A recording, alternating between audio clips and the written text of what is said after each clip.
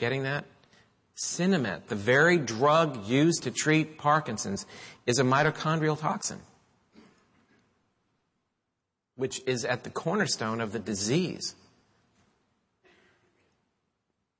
Well, why doesn't everybody then who has uh, these issues uh, or who is exposed to these toxins get it? Could there be some issue where they have a genetic predisposition like we talked about? And interestingly, if you happen to um, inherit this CYP2D6, which is a liver detoxification enzyme flaw, if you inherit this flaw, your risk for Parkinson's goes up 240%. So we wouldn't want to have, you don't want to have this enzyme flaw nor would you want to be exposed to any environmental toxin, perhaps, that could downregulate the way your CYP2D6 system works. And here are some environmental toxins that can actually inhibit CYP2D6.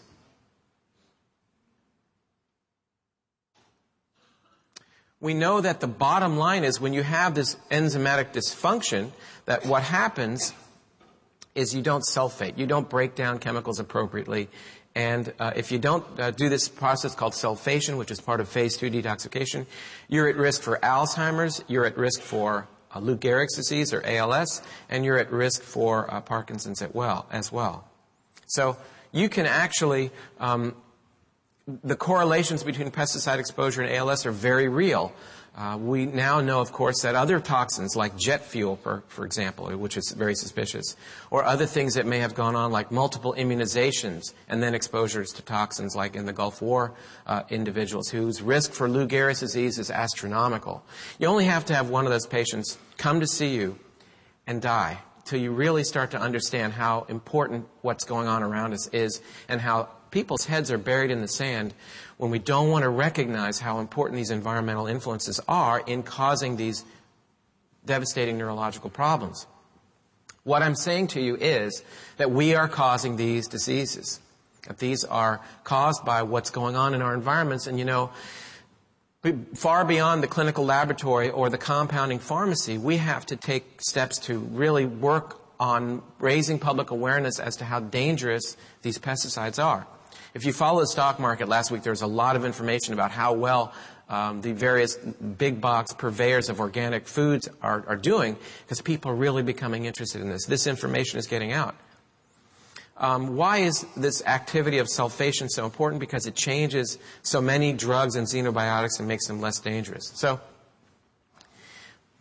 I'm a neurologist, and yet what we're looking at right this moment is the way that the liver works to detoxify because that plays a pivotal role in your risk for neurodegenerative diseases. And it's so unfortunate that when I lecture to neurologists, they don't really recognize anything kind of south of the foramen magnum as playing any role in neurologic diseases. And yet, fundamentally, Alzheimer's, Parkinson's, ALS are indicated uh, as flaws of hepatic detoxification. And guess what? The brain has a detoxification uh, activity as well. So we're not talking about people who have determined risk or going to have Alzheimer's or Parkinson, but rather a predisposition where once they inherit this gene or damage or have g- different genetic expression, then when they're exposed, uh, they have a different outcome. As um, if I can I go back? Can I go back one slide? Are you able to do that, Mark? Good. I mean, these are identical twins, but yet had uh, somewhat of a different environmental experience, so their morphology uh, it becomes different. And here is an individual who developed Parkinson's disease um, because of an uh, event that occurred during his life that modified his genetic expression. Muhammad Ali on the left of the screen.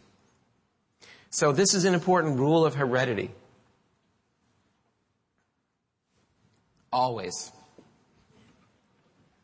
This, is, this plays out very well in our house too, because whenever there's a problem, we always say, well, it didn't come from my side of the family.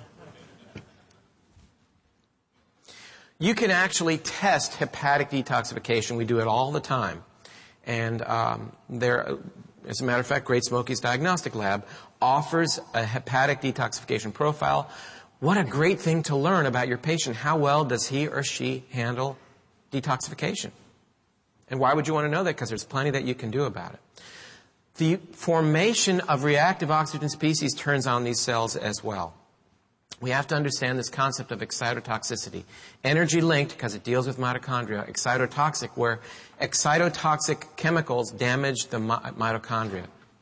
Well, here's a little bit. This is a neuron, and there you see the mitochondria producing ATP, and you have this thing called the NMDA receptor, which um, when it's everything's happy, when the mitochondria are working, the NMDA receptor deals with memory, deals with plasticity, allows the neuron to function well.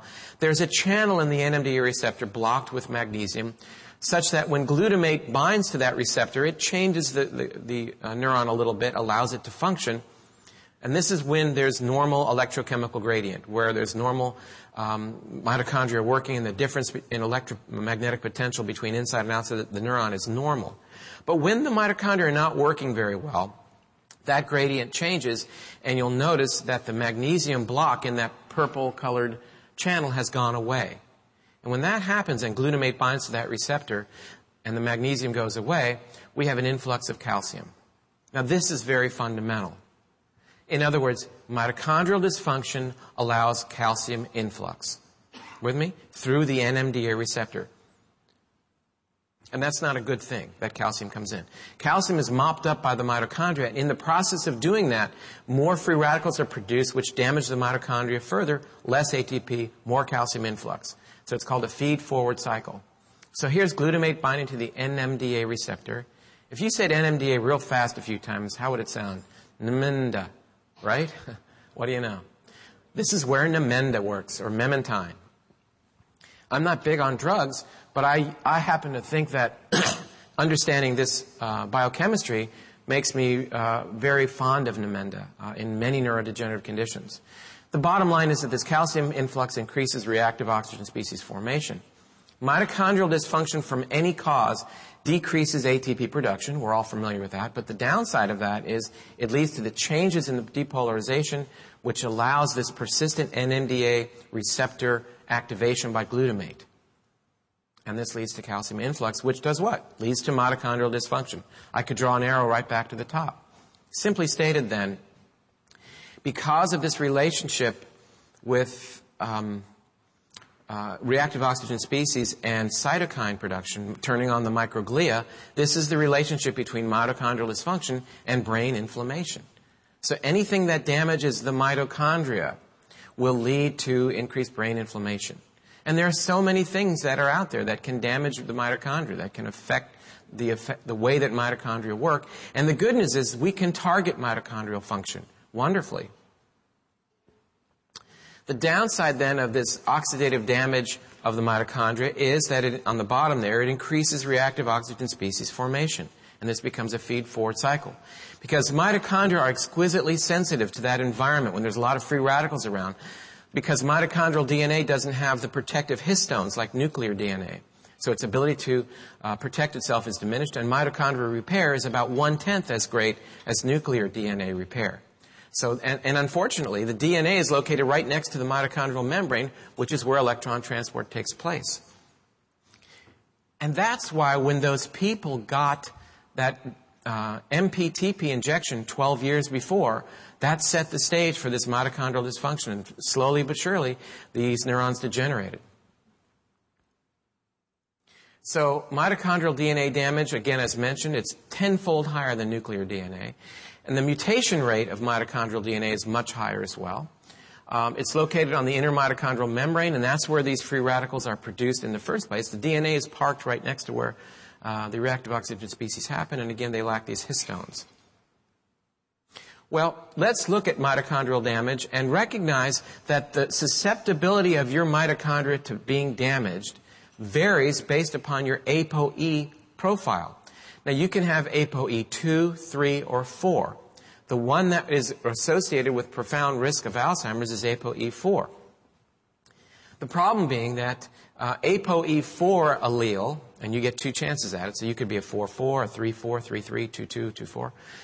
The ApoE4 allele in and of itself is not a bad thing, but the ApoE4 allele depresses your, your latent antioxidant uh, protection activity. So yes, you're at increased for Alzheimer's disease dramatically, but you're also at increased risk for, for a poor outcome if you have brain trauma.